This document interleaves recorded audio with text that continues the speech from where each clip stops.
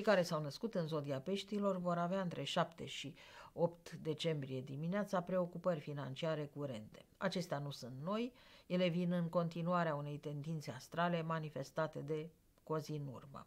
Vor face drumuri pe la ghișe, vor completa acte și documente, vor avea dialoguri explicative pentru ca activitățile financiare bănești să decurgă normal. Între 8 decembrie dimineața după ora 9.30 și 10 decembrie după amiaza, cei născuți în zodia peștilor vor uh, dezvolta un soi de discreție sau de reticență față de toate provocările verbale. Nu vor fi cei mai vorbăreți în această perioadă, vor fi mai tăcuți, mai rezervați, mai fără chef, mai triști, în principal vor fi mai gânditori și mai responsabili și mai stresați de niște adevăruri cu care se tot confruntă. Și acestea nu fac decât să îi provoace. Îi întorc de fiecare dată la sursa unui rău sau unei suferințe. Nu au putut până acum să curme uh, acest izvor neplăcut, această sursă de stări uh, care le mănâncă energia și le abat atenția. Încetul cu încetul vor reuși acest lucru. Deja nu mai este vorba de o poziție puternică, relația între Uranus și Marte nu mai este la un grad strâns, teoretic nu mai e o relație astrală, este doar o poziție uh, divergentă. Fiind vorba și de două case ale cunoașterii, ale învățăturii, putem anticipa că unele persoane născute în zodia peștilor pot dezvolta, în funcție de vârstă, educație și context biografic, două tendințe – Prima ar fi cea a atașamentelor ciudate față de domenii de cunoaștere. Se apucă să învețe ceva, să deprindă ceva care îi încântă, îi fascinează, îi motivează sau chiar reprezintă o necesitate în viața de fiecare zi, o completare a studiilor sau uh, o perfecționare profesională. Cea de-a doua tendință nu are legătură nici cu meseria, nici cu profesia și este mai mult o chemare interioară către zone pe care trebuie să și le deslușească. Nu cer ajutorul nimănui, nu se duc la doctor, chiar dacă este vorba de probleme de sănătate sau psihice sau sufletești sau uh, chiar uh, relaționale. Și atunci încearcă să afle acest lucru prin lecturi, studiu, analiză, experiențe, meditație, care presupun apropierea lor de niște formulări sau explicații date de autori celebri în manuale, în tratate, adică acele surse care nu pot fi contestate, care nu pot fi bănuite că sunt nesincere, că sunt interesate, că sunt superficiale sau că sunt de rea credință.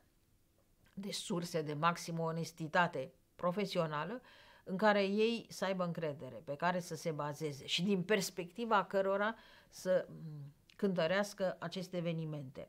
Sunt atât de onești și de cinstiți și de radicali în acest demers încât se pun și pe sine pe taler. Nu-și pun doar dușmanii, rivalii, prietenii sau uh, partenerii de viață acolo pe cântar să vadă ce este cu ei, se pun și pe sine și uh, dorința lor de lămurire seamnă cu un fel de scormonire, un fel de arheologie sufletească, mentală și psihică. Scormone, sapă, um, încearcă să refacă un obiect din cioburi, așa cum face un arhitect, ei încearcă să își refacă trecutul, dar uh, odată regăsind întregul, să înțeleagă uh, locul omului și evenimentului în viața lor, pentru că au sentimentul că au greșit. Această spaimă de eroare, de autoînșelare, de exagerare, de drum greșit, de neînțelegerea scopului în viață, de regret că s-au luat după mintea altora, este puternică pentru unii nativi și ei vor să limiteze consecințele răului. De aici nu se mai pot baza pe nimeni, nici pe ei înșiși, nici pe alții. Și atunci spuneam că recurg la surse de maximă autoritate pentru a crea aceste îndiguiri. Vor să limiteze și să izoleze acești factori de rău, să se lămurească, a fost, a fost, punct. Este un lucru foarte bun, pentru că de obicei peștii se despart foarte greu de trecut, uneori niciodată, trăiesc toată viața cu tot trecutul în spinare, cu toate cele bune și rele, cu cele importante și cu fleacuri. Nu lasă nimic, nu uită nimic, păstrează tot. Din această perspectivă, acest moment, chiar dacă nu e foarte plăcut, e foarte util. Între 10 decembrie, după ora 19 și 12 decembrie, moment important pentru carieră, pentru viața de familie, pentru statutul patrimonial. Pe 12 decembrie va avea loc luna plină în gemeni, care controlează casa a patra și poate să introducă un factor nou, dar nu fundamental și nu stabil și nu de lungă durată. Uh, poate să fie vorba de o discuție, de o afirmație sau de o promisiune față de părinți și rude. Poate să fie vorba de un gând care le trece prin minte o intenție, să vândă o casă, să cumpere o casă, să facă ceva cu casa, cu un bun de valoare. Dar, până la urmă, toate aceste lucruri nu reprezintă decât un foc de pai, un entuziasm de moment, se vor stăvili, se vor potoli, se va stagna Uh, această furie de moment. Mult mai important este însă impactul fazei de lună plină din perspectiva soarelui, element component al acestei etape, care se află în casa 10 în tranzit prin săgetător și care, de când a intrat, creează contexte pozitive pentru imaginea lor publică, pentru succes, pentru progres, pentru șansă, pentru afirmare, pentru numire într-o funcție. Numai lucruri bune sau pentru intrarea în normalitate, sau pentru maturizare, sau pentru regăsirea de sine, sau pentru urmarea drumului bun după un moment de opțiune, de derută și părăsirea celui rău. La toată această risipire de favoruri și beneficii uh, intervine și Mercur. Începând cu ziua de 9 decembrie, Mercur va traversa pentru 3 săptămâni casa a 10 Un timp va fi alături de soare. Dar în aceste trei săptămâni el va mai face, în funcție de specificul lui, și alte lucruri. De exemplu, va permite peștilor să se exprime în public. Le va permite să călătorească. Le va permite unora să ia legătură cu instituțiile din afară și acolo să desfășoare o activitate. Nu pe termen lung, nu este vorba de o stabilire în străinătate, ci stagii de scurtă durată, de câteva zile, de o săptămână, de o lună, în fine, grosomodo ar trebui să fie vorba de aproximativ 3 săptămâni cât este tranzitul însuși. Da, în logica lucrurilor, acestea pot fi ajustate. Perioade care să reprezinte pentru ei un prilej bun de a face experiență cu străinătatea în sine, cu o țară, cu o instituție, cu un colectiv, cu un proiect, cu o abordare științifică sau socială sau morală sau politică, cu altă gândire, cu alte relații interumane, cu alte trăiri și sentimente.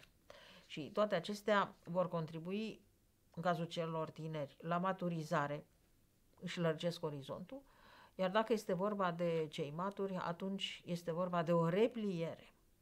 Probabil că marile decizii le vor lua abia după ce se vor întoarce acasă și vor asimila această lecție bogată, stufoasă, intensă, provocatoare, de cele mai multe ori entuziasmantă.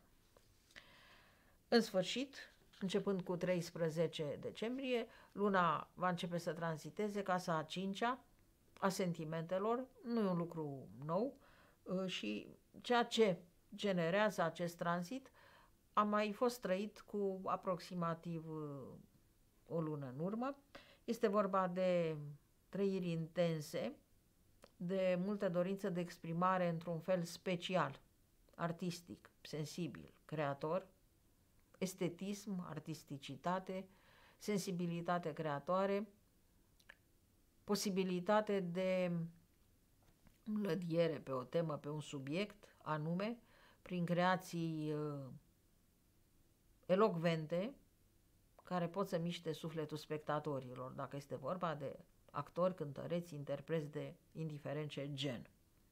Într-un alt plan însă, pe foarte mulți, îi apropie de Dumnezeu și, dacă nu îi apropia până acum, îi apropie de credință, de biserică, de formele de practică religioasă care nu înseamnă neapărat să te duci și să te dai cu capul de uh, lespezile bisericii sau să aprinzi lumânării cu nemiluita, ci înseamnă niște forme civilizate, demne, superioare, de practică religioasă, care să îi transforme.